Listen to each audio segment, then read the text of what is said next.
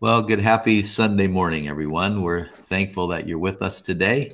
Um, Billy is in a very wonderful place. Uh, he's he went to a worship service with his some of his family, and he's parked in front of their church because yeah. uh, and he's in his car. You can see that he's in his car, and he's on his hotspot phone, which I, right. I, kind of I've heard of those things before. I'm not sure I could tell you how to do them. Most of you, I'm pretty mm-hmm. pretty backward when it comes to this kind of stuff. But anyway, right. I'm thankful for Billy going to his car and figuring out how to get us here today. And so thank you so much, Billy, for helping us to get to this place. So thanks. Is it? You said planes are flying over and good things are happening, huh? It's yeah, it's Bal- Balboa Park in San Diego. They're meeting in San Diego. They can meet outside, so they're oh. meeting in a park. Oh, cool! And yeah, it's beautiful. That's awesome. Well, good for you. I'm glad. I'm glad you're there with them, uh, and that, and I'm glad you're enjoying worship with them. That's awesome or you did. And thank you for coming to do this. Uh, talk about worship at 11 o'clock. Uh, Brian uh, is communicated already with me and Billy, and he's going to be putting up a worship set at 11 so that it mm-hmm. doesn't mm-hmm. conflict with what we're doing because we don't know what time we're going to be on or off here. Could be way sooner than that or not. Who knows? Wherever the Holy, Holy Spirit leads us today. But we have a few minutes to talk about the word. Also, because this is Sunday, we want to put up the information about giving. And um, again, uh, we talk about this almost every week that we get together, but giving for the church is, and for Christians is, a time to recommit your life to Christ. I hope that you take that seriously. I hope that you'll say, Lord, here's my life uh, I need some help. some of us are in that place. I'm in that place. Lord, here's my life. I need help. I'm, I just, you know, I, I think I'm probably the mess, most messed up guy on the planet. I really do. So you don't, you don't have to believe that, but I, that's what I do. And so, Lord, here I am. I just give you my life. I give you all of me. Thank you for accepting me. Thank you for your grace and your mercy and for helping me to deal with with life and helping me to deal with my relationship with you and here i am all of me and i offer myself back to you that's what an offering is and that and that that pledge that you give financially is is is just a token that says or a representation that says this is what i'm doing. I'm giving you my commitment. I'm giving you back my life. And more than ever in uh, in our time in our in our history and more than ever in any time in my life anyway and i'm an old geezer so more than ever um, i think it's important for us to make sure that we really understand who we are in christ. Um, the world is a really really different place today and it's a really scary place for a lot of people.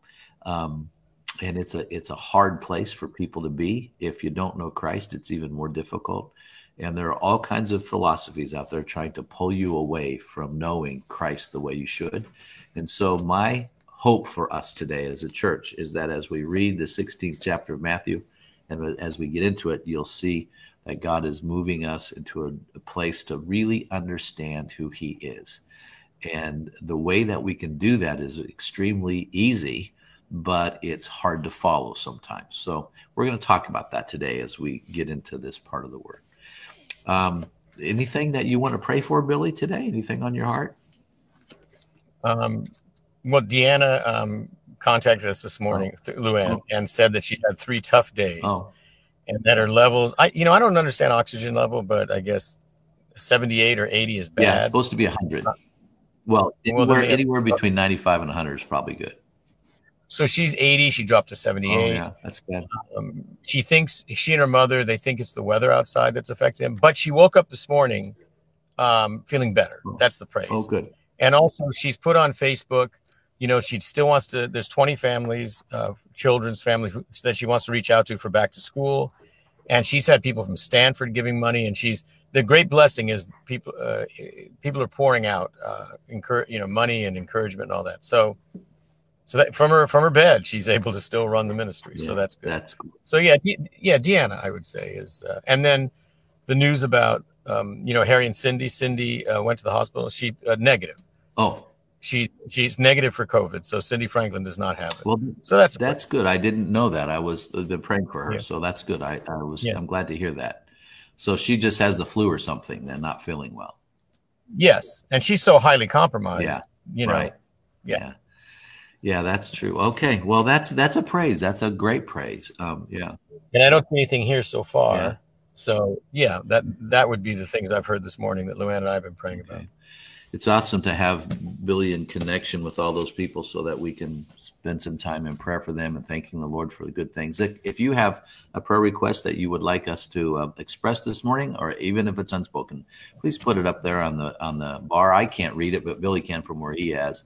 I, I only get I only get probably down to ten people, then mine stops. I don't know why. Then it stops. Yeah. mine keeps, and also I'll be I'm going to go away and hide, but I can pray. You won't even hear yeah. me and I, I, just tell them that the guy who's uh, teaching today is in Matthew, right where Ric oh. was. I don't know how long ago, Matthew five, uh, the Beatitudes um, about adultery and stuff. So I, I kind of got a repeat on that. You know, uh, same mess, same message, but just out of a different. You know, we're all. What amazed me today is that how many of God's people worship on Sunday. Yeah. All across the world. Isn't that yeah, amazing? Yeah. Yeah. I mean, people that really love the Lord want to be with the Lord, and and that that is for sure. Whether it's online or in person or whatever, however, whatever means we have to worship together is is amazing. There are millions and millions and millions of people, and and that's that's what I want to want to share. I've shared this before, but that's a good reminder for us. Um, you know, there's mega churches. There are some mega churches with lots of people going to them. You know, tens of thousands of people going to these churches, big churches, and and they're they're not just a few of them. You know, there's there's quite a few of them, and but there are a lot of little tiny small churches from ten people to a hundred people across this nation. In fact, the average size of a church in the United States is about 73. I believe that's the last number I read. So it's not very mm-hmm. big. The average size of a church is not not bigger than than 100 even. And if you think about how many millions of people, how many millions of people come together every Sunday, and we're talking millions and millions and millions of people come together every Sunday and worship the Lord from those little tiny churches. It's because it's because God's name is absolutely alive and powerful with authority to do great things. And we're going to talk about one of those things today. Someone called me and asked me to asked me to told me a story and told me I could share it. Uh, and I want to share that because it goes along with our message. So listen, God is still at work today. Don't don't think he's not. No matter if your heart if your heart if your life is hard or if your if things are going simple or easy for you right now, no matter what is difficult or what is what is very peaceful in your life, God is still at work. And don't give up. Don't give up in the middle of the in the of the, the trouble you know god's god is allowing things to be stirred in your life if they are for a reason. And it's it, and when you have an attitude that says god i want to discover this reason then good things happen. Then yeah. wonderful things take place. So i just i just want you to know that it's it's a wonderful thing to be able to be in the middle of life itself. And no matter if it's good or not so good at this moment but it's a wonderful thing to be in the middle of life itself and watch God act on your behalf because he will. Our job is to trust him to act. His job is to act. And and it's a wonderful thing when that takes place. And we're going to see that. Part of that that whole that conversation is always throughout all scripture. We'll see some of that today in the 16th chapter of Matthew and what happens here. So Billy, you want to lead us in prayer and then after after we pray together Billy's going to put me on and I'm going to do a teaching like we do on Sunday mornings, and then Billy will come back and we'll we'll pray again and, and say goodbye and wait for Brian to come at eleven. So, yeah, you want to pray for us today, Billy? Sure. And I've got some prayer requests. Oh, I'll add those. Uh, dear Heavenly Father, we do lift up uh, Deanna and Virginia, and thank you that they're feeling better today. I do thank you for the for the outpouring of people who are interested in the, her ministry. That's a praise. I thank you for Cindy Franklin. Um, that whatever she had, it's not it's not COVID. Uh, I want to lift up Darrell Jr.'s request uh, for those who are out of work, um, whoever they are, Lord, and, and, many, many are. I know in particular someone who I'm dealing with uh, for unemployment. Um, so we pray for that. This is the worst economy I think that you know in the history of our country, from what I'm reading. And for Elia, her um, sister Paola is very sick, and I'm not, I don't know what very sick means, but I pray for uh, Paola, and I do pray for Elia and Tracy, who are you know related, and um, that uh, you would give them peace over that, Lord, because there's not much anyone else can do right now. Can't visit people. We can't even hug mm. them, but we can pray, and prayer is very powerful, especially in this time. So, um, you know, I pray for our nation. Um, I was struck today. I don't go to other churches, obviously, but for me to sit in the park, Balboa Park, and see people worshiping you, uh, it just reminds me of many, many people I don't know about, and uh, it's very, very encouraging that, that on Sunday in particular, Lord, you've set that day apart. People come together to worship you all across this nation, all across the world. It's Sunday, and that's what they're doing. And so I thank you for that. I thank you for opening my eyes to that. And I pray for uh, Ric this morning that, you know, it's, it's, Sunday and he's here to worship with us, uh, and for Brian. And I just pray as Ric uh, goes through 21 verses, uh, these 21 verses, Lord, that you would. Um, you would speak through him that you, they're your words, Jesus, and uh, you would um, remind us of who you are and what uh, what's important. And uh, we just lift up this time to you in Jesus' name. Amen. Thank you. All right. Well, we're going to go to the 16th chapter. Thank you, Billy, for hanging out with us today. Um, let me see if I can figure out what's going on with my little tablet. And well, there we go. Okay. Um, I had to turn this on again. Sorry.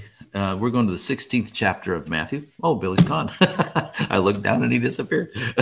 I know he can hear us, though. Thank you again, Billy, for all you're doing today to, to help us to do this. Um, the first, the first two, the first two words in this 16th chapter, first verse, are two words that we need to talk about. I know we always say that, but we really do. It says the Pharisees and Sadducees came to Jesus and tested him by asking him to show them a sign from heaven. Well, I think it's really, really interesting because the Sadducees and Pharisees didn't come together for much. Uh, they had different political views. They had different uh, different views about angels, about the resurrection. The Pharisees believed in both of those. The Sadducees did not. Um, the Sadducees were people who were an upper echelons, the up and the upper echelons of society, and they worked with the Roman government so that they could keep their position. The Pharisees just didn't just just tolerated the Roman government so that they could they could just be left alone to worship God the way they thought they wanted to. And so all of this, all of these things just put a, a wedge between, a, a chasm between the Sadducees and Pharisees. And these Sadducees and Pharisees, though, came together because they had a common enemy, and that common enemy was Jesus. And so they came together, and they and their coming together wasn't so that they could build up Jesus at all, because he was the enemy again. And so they wanted to test him. And it says here, it says the Sadducees and Pharisees came and tested him that he would show them a sign from heaven. Now, when you when you first read this, it kind of it kind of stands out because the first thing that I think of is, well, wait a minute these these Sadducees and Pharisees have been following Jesus this whole time. They've been following Jesus since the in the book of Matthew. They've been and we're in the 16th chapter. We started in chapter five, and they've been following Jesus but because he spoke the Sermon on the Mount, and he they've watched all these things happen. They've watched they watched the leper be healed. They watched the thousands of of demons be cast out of of uh, the demoniac and, and thrown into pigs, and the pigs ran into the sea. They've watched people come alive that were dead. They've watched the deaf be, uh, be healed. They watched the blind see. They they watched. They just watched all of these things happen. And so when you when you first read, if you don't know something about the Pharisees and Sadducees and the time they lived and what they thought, when you first read this, you're thinking, I don't understand. They they must have heard about, or might maybe even have been a part of the five thousand being fed and the four thousand being fed and the basketfuls of food basketfuls of food being left after that. So they must have seen all of this. And now they're coming to Jesus and they're trying to test him. And they're trying to test him by saying, Show us a sign from heaven. Well, lots of us would say, Well, those signs are from heaven. But you have to understand the Sadducees and Pharisees of this day. The sign of heaven was a sign that was literally from heaven. And what they believed was that, in, in, fact, you can see this in what they said to Jesus. Remember, the Pharisees said, Well, you're doing all these things by the power of Beelzebub, by the power of Satan. Remember, they said that? So, what they believed is that all miracles that happened on earth could be counterfeited. And I believe that same thing, by the way, but they could have be counterfeited. And so that Satan could be doing those. And so they wanted a sign not on earth, like raising the dead or healing the blind or healing those who can't hear or can't speak or you know or casting out demons. Those are all signs on earth. What they wanted was a sign from heaven. So when we begin to look at that a little closer it begins to make more sense to us. So he wanted a sign from heaven. And he and he was upset with that. Now what would be a sign from heaven? Well a sign from heaven would be like uh like you know, mm, let's see. Uh, in the Old Testament, there was a sign from heaven. You remember the sign from heaven when uh, the Baal worshippers were trying to to uh, see if Baal would come and and um, and start their offering on fire and burn their offering up and they prayed and it didn't work and then god's prophet showed up and he said i pour water on this offer on the offering and and then he prayed for a sign from heaven and what happened fire came out from heaven and consumed the entire thing and the offering of that they had to Baal, consumed all of the offering.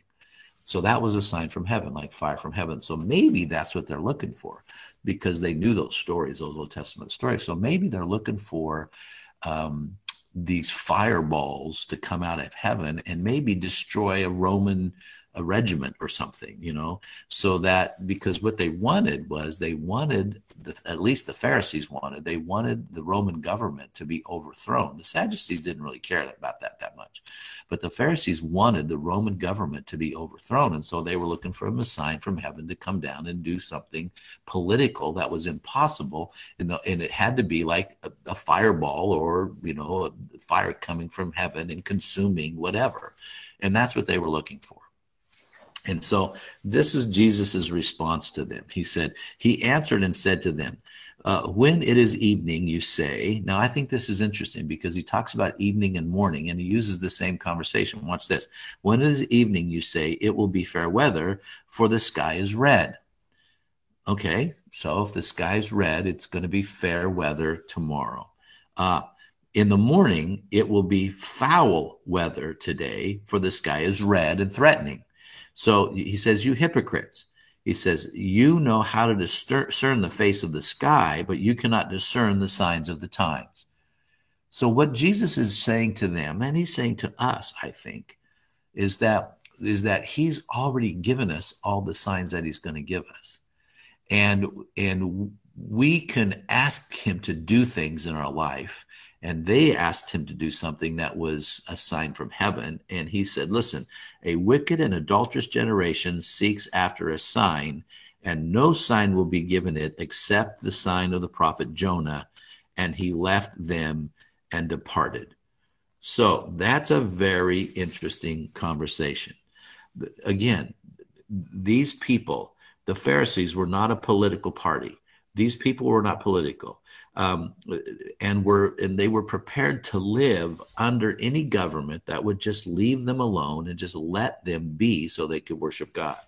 The, the Sadducees worked with these uh, these governments so that they could be a part of the aristocratic conversation of their day. So they both wanted Jesus to send this sign from heaven, and when they doesn't when that doesn't happen, Jesus says, "Listen, I could send you all the signs in the world." But if you don't believe in who I am, then we have a problem. So this whole this whole this whole chapter 16, Matthew 16, is a chapter that's going to speak about who Jesus is. Everything that happens from here on out is started with this conversation about signs from heaven. Now, watch, let me read it to you again.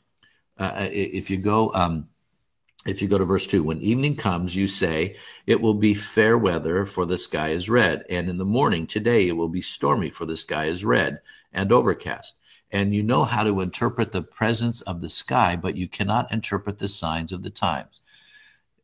A wicked and adulterous generation looks for miraculous signs, but none will be given it except the sign of Jonah.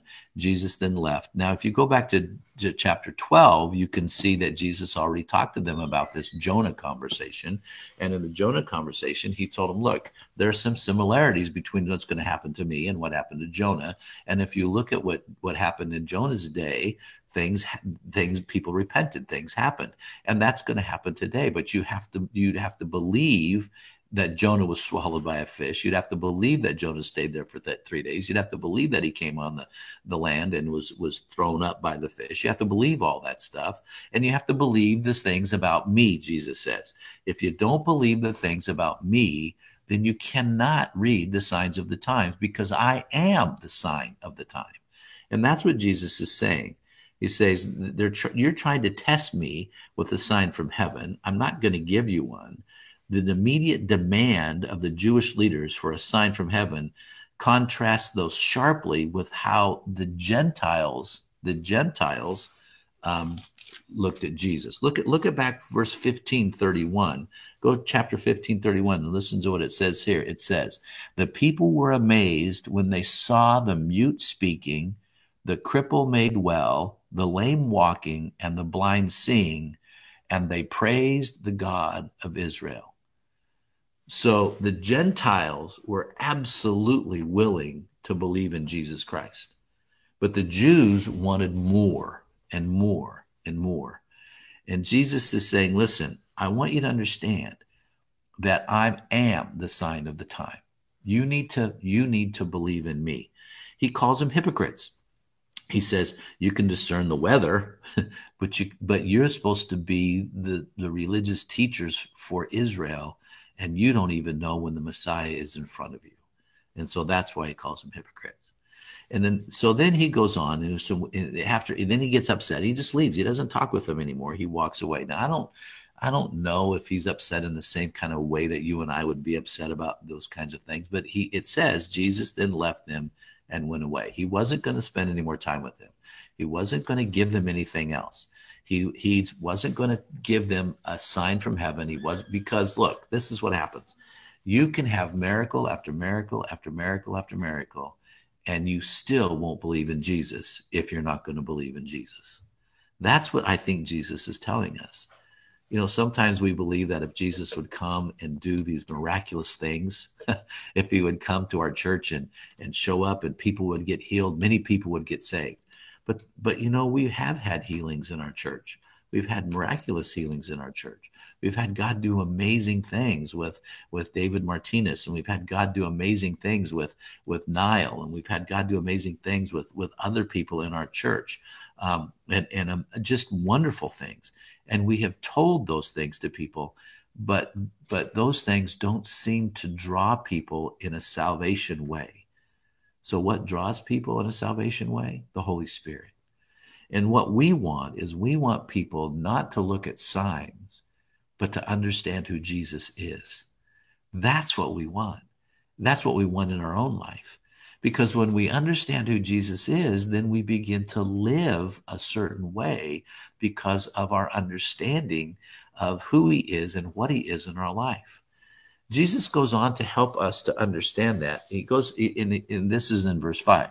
It says, When they went across the lake, the disciples forgot to take bread. Now, look, I know that Jesus knows how to feed people because we just read earlier in a couple of chapters earlier, and in the last chapter, chapter 15, we just read that Jesus fed 5,000 and he read, he fed 4,000 and he fed them with small amounts. And Jesus will recount that here. Look, memory is a very interesting thing, isn't it? We can have these incredible experiences. We can have an amazing experience with Jesus. We can have we can have these wonderful things happen with us, and we we soon forget them when when they're not in front of us anymore. And what and Jesus is going to address that a little bit. Watch this. He says, when they went across, when they is the, the disciples, um, he says, When they went across the lake, the disciples forgot to take bread. Be careful, Jesus said to them. Be on your guard against the yeast of the Pharisees and Sadducees. Well, they thought Jesus was talking about physical bread.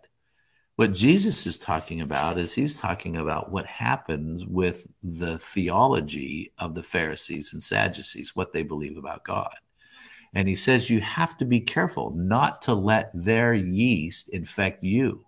So why was yeast such a bad thing? Why why was that such a difficult thing? I, I lost it again in here. I was going to read you something. Oh, it doesn't matter. Um, yeast was a difficult thing in the in the in the old in in the old testament and the new testament for the jews because yeast was yeast was uh, compared to sin and it was compared to sin because yeast was was kind of a secret thing you you put yeast which was a fermented yeast you put yeast in a bread and it kind of slowly works its way through the entire loaf. And it raise it rises in the loaf. So it's secret it's it's it works its way through everything. It kind of uh, affects everything. And so that's the way sin would work. And so the pharisees and sadducees would equate yeast with sin. And so what would happen here is this yeast would get into the whole lump and then and the whole loaf excuse me and then it would affect everything. And what would they they would do when they were making bread is they would take a piece of that loaf out of the bread and then set it aside and that would be the yeast they would use for the next loaf of bread when they were ready to make bread. And so he says be careful. He said the teachings of the pharisees and the sadducees are like that yeast they will slowly and secretly begin to work their way through what you believe and as they work their way through what you believe this is what's going to happen it's going to affect your life in a very negative way. So be careful about that. He wasn't talking at all about bread. Now, watch, I'll show you this. Verse 7. They discussed this among themselves. What they discussed themselves? That they forgot bread and said, It is because we didn't bring any bread. That's why he's talking about yeast, because we didn't bring any bread. Aware of their discussion, Jesus asked, You of little faith, why are you thinking among yourselves about having no bread. He's saying, Don't you understand? I'm not talking about bread. I'm talking about the theology, the way that the Sadducees and Pharisees, I'm talking about their theology. I'm talking about the way they speak about God and what they understand and what they don't understand. And I'm talking about the way that their heresy pollutes everything else that's going to happen. And I'm saying to you, you better be careful not to believe that. Because when you believe it, when you believe it, it will secretly go through your entire understanding. And is isn't it like this? Isn't it like that when we sin, um, that sin kind of that sin kind of destroys who we are as people. I've told this story before, but I, I thought of that when I read this. It was, it was a story when we used to pass out we used to pass out tracts in front of in front of um, some pretty bad places downtown in in Denver on Larimer Street in Denver. And we used to pass out tracts, and we would get threatened, and the police would even come and park on the other side of the street and just watch us passing out these tracts, so that no one would would bother us and and the owners of this of these these places would come out and try to hand us hundred dollar bills so that we would leave because they didn't want our influence there. But we we wouldn't take their money. We'd just keep passing out tracts. And there was a young girl that was going into one of these places, and she looked very, she looked like she just came off the farm from Iowa or something like that, right? She looked very innocent.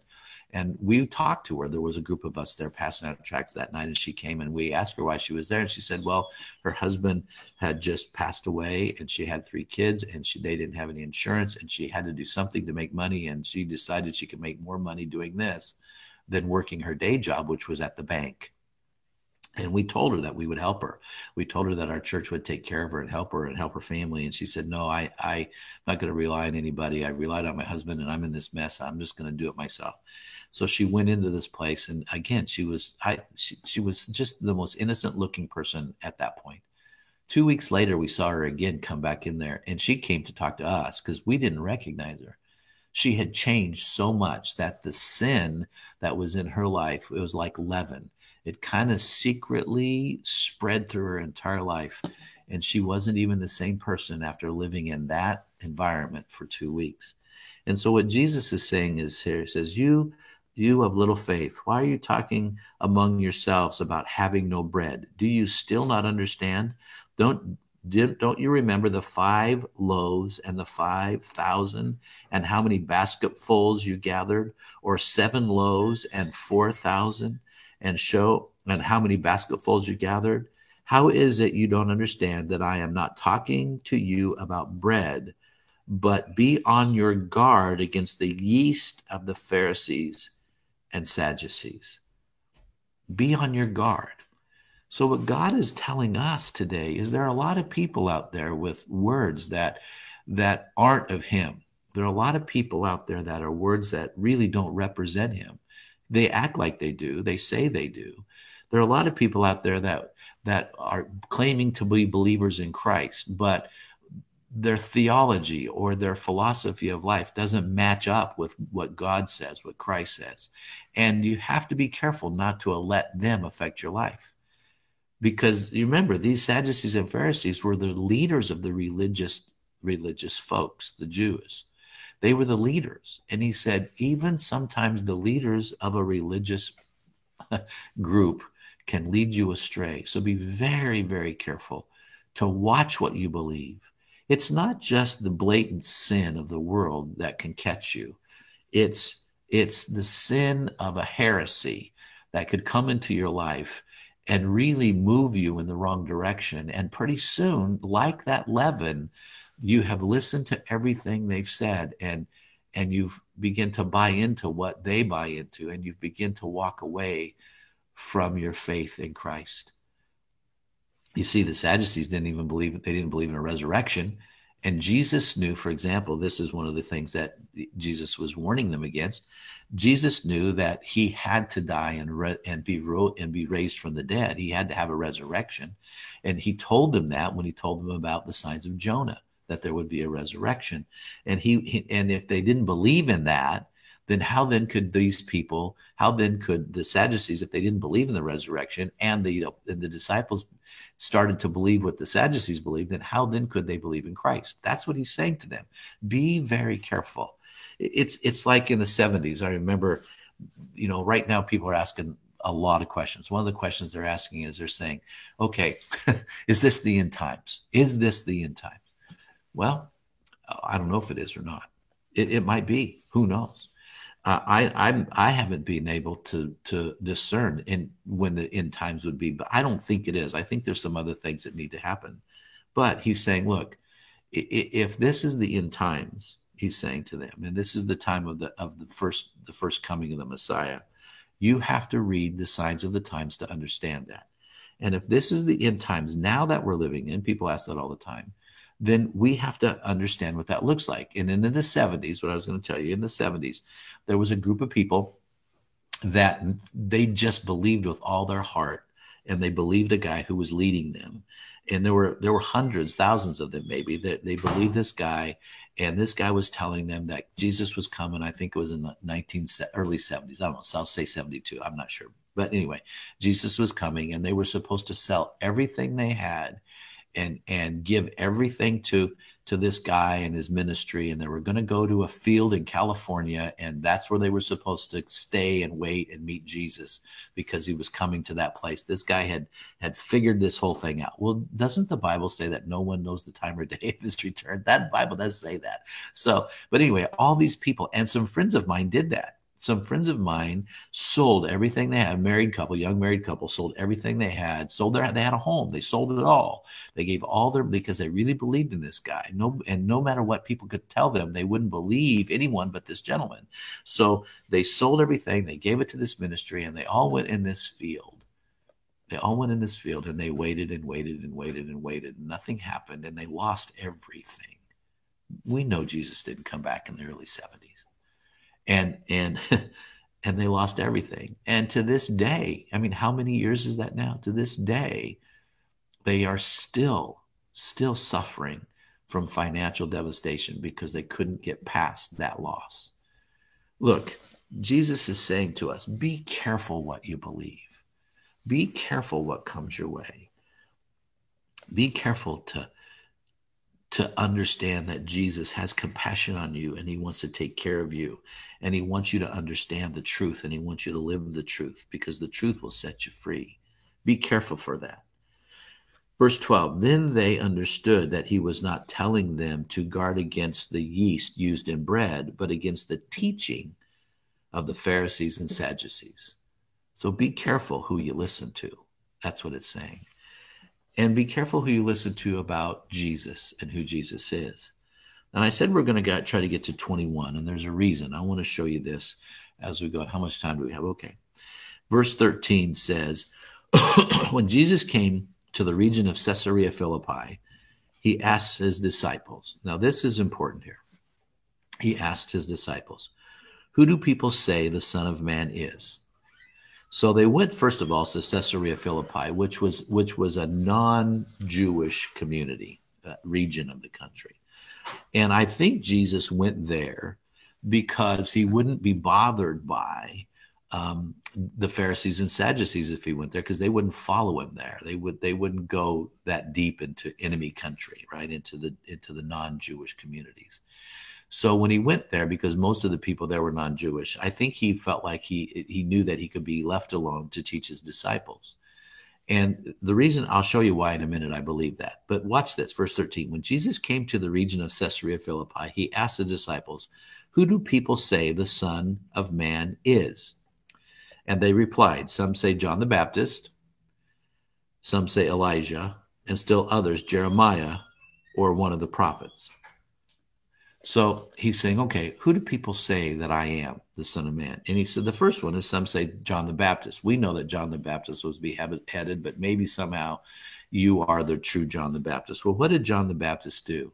Why did people believe that Jesus was John the Baptist? Because John the Baptist, if you remember what his message was, his message was a national repentance and and they were they were looking again for the signs of the times. And the signs of the time would be there would be a national repentance and and the true messiah would come from the nation israel. He would destroy the political realm. That's why they were looking for a sign from heaven to destroy the political realm.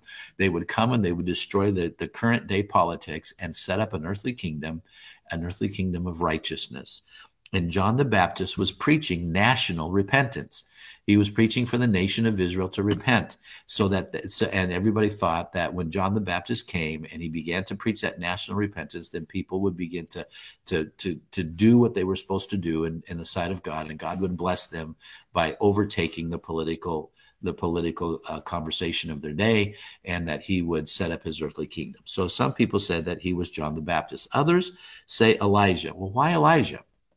Well, because Elijah was a doer of miracles, if you'll look in the Old Testament he did a lot of miracles. He, there was a lot of miraculous things that happened in his life. And so, since Jesus was doing all these miracles, I mean, for goodness sakes, we just talked about some of them. He came down and healed the leper from the Sermon on the Mount. He cast out demons. We've gone over this and over this. He's he's he's done all these miracles. Fed five thousand, and at another time fed four thousand with basketfuls of food left over each time.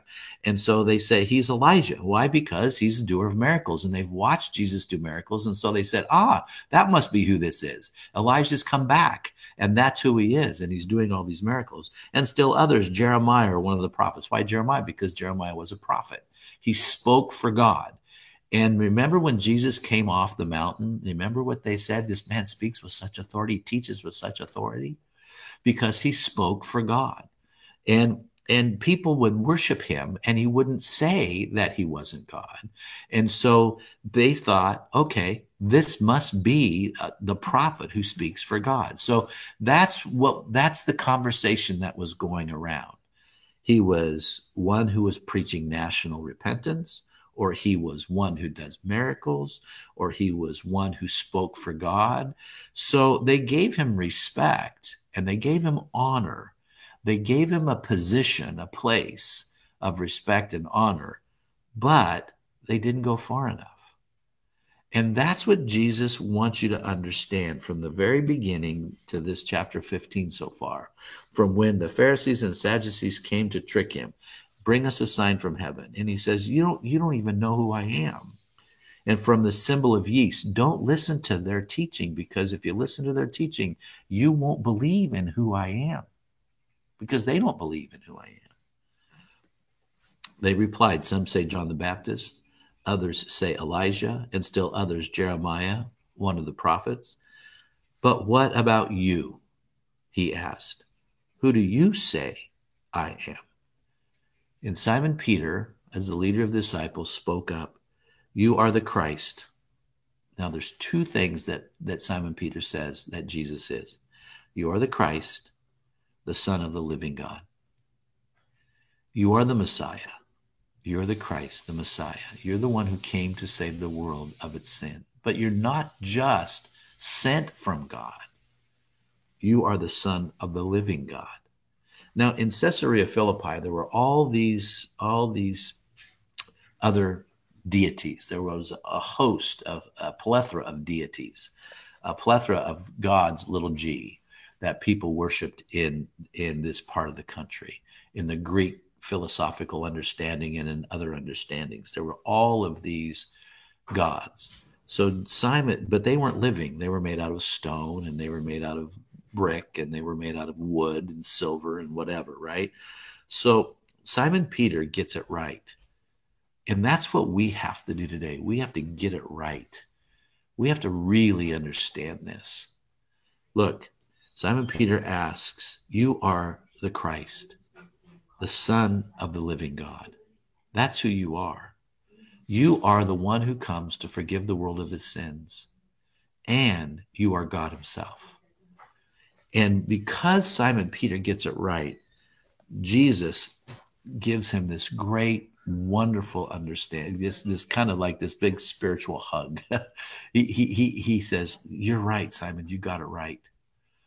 And because Jesus is the Christ, and because Jesus is God Himself, and be, because He's always faithful, and because He's always truthful, because there's no life found in Him, because everything He does everything he does is is a representation of the father on earth. He says if you've seen me you've seen the father. Because of all of that simon peter got it. He finally got it well what was the thing that helped simon peter to get it? You remember when simon peter was walking on the water and he began to sink when jesus called him out of the boat? And and then at that moment he says he must be god. He must be the living son of god. So this is the first time the church is mentioned in the Bible. It says Jesus replied, Blessed are you, Simon, son of Jonah, for this was not revealed to you by men, but by my Father in heaven. So, how are you going to know the real revelation of Jesus?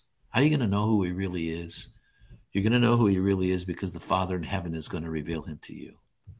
Now, I'm not going to share much more because I want to finish with this. We'll pick up on this tomorrow as we as we go with Billy tomorrow. But let me finish with this illustration. Uh, someone who is a barber, he, he said you don't have to mention my name, but we all know who our barber is. So someone who was a barber had someone in his chair. And there was only there's only one person allowed at a time in his barber shop. That's what he does. And he's masked up and he sanitizes the whole thing, this whole shop before a new person comes in and there was a person in the chair and and this person was asking David about oops I mentioned his name sorry this person was asking our barber about uh, about relationships and so David I'll just use his name David was um, telling him about what God says about relationships in the Bible and as he was talking to this person another person came the next haircut and he was sitting outside and and the Holy Spirit spoke to David and said, You know what? I want you to go and I want you to bring that person because it's usually only one person at a time in the shop. I want you to bring that person in the shop while you're finishing with this guy and talking to him about relationships. And I want you to set him at a distance, you know, do all the stuff you're supposed to do, but just let him sit in the shop and it because it's cooler in here and because I want him to hear what you're saying. So David excused himself from his haircut, wasn't finished yet, excused himself from his haircut and went out and got the guy and brought him into the shop and and he then he finished the haircut. He finished telling this this person, I don't know, young man, I guess, I don't know, finished telling this person about Jesus and about relationships and about godly relationships and those kinds of things. And then the the guy left, and the new guy who was sitting in the shop got into the chair and said to David, "Boy, I really needed that. I really needed what you had to say to that guy." He said, "I'm sorry for eavesdropping, but I really needed that." And David said, "Okay." Didn't pursue it. Didn't ask any questions. And so, you know, as as you're as you do when you're in a barber chair, you begin to talk about other things. They talked about koi fish and ponds, and David just built this really beautiful pond in his yard. And so, after the haircut was done, they walked outside to look at the, the, the fish and to look at the pond. And they're out in the backyard looking at the stuff. And the guy brings it up again, and he says, "I really needed to hear that." And the guy finishes. David didn't ask any questions. The guy just finished. He says, Listen, I got to tell you this. He said, I was online looking at stuff I shouldn't have been looking at, and I had made an arrangement to get my haircut. And then after the haircut, I was get my haircut with you.